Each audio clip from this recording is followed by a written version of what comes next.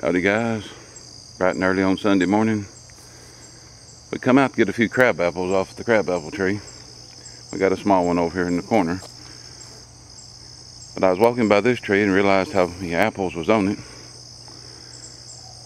I tried one of them, they're pretty good. They seem to be a little early to me, but they're good and edible so far. But I got to looking, more I picked, more I realized that I wasn't really getting anywhere, don't seem like.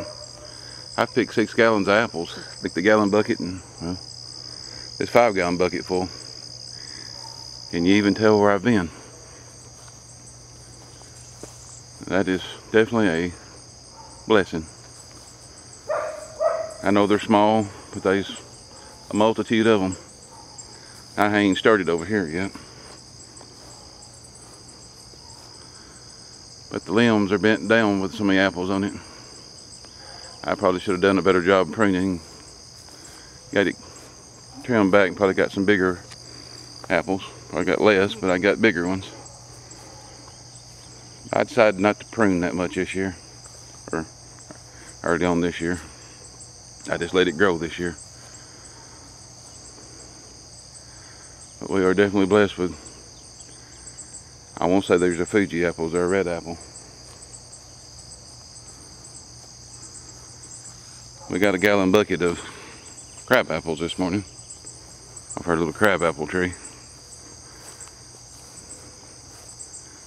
We've had these trees, that and we've had about six years.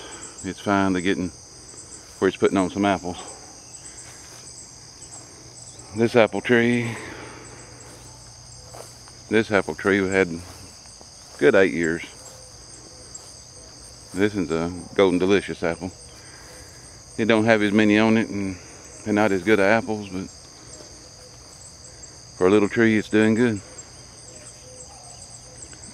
I thought I'd show you the my little apple harvest this morning off little old short trees.